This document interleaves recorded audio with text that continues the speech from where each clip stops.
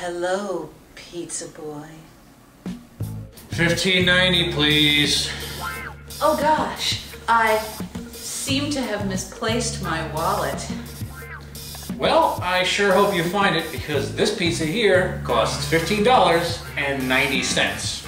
Isn't there some other way I could get you to give me that big sausage pie?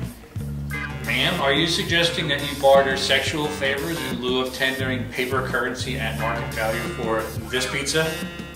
Yes.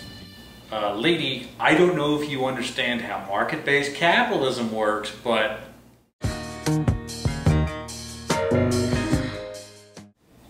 you see the fixed cost that the manufacturer incurs? It's added to the cost of labor.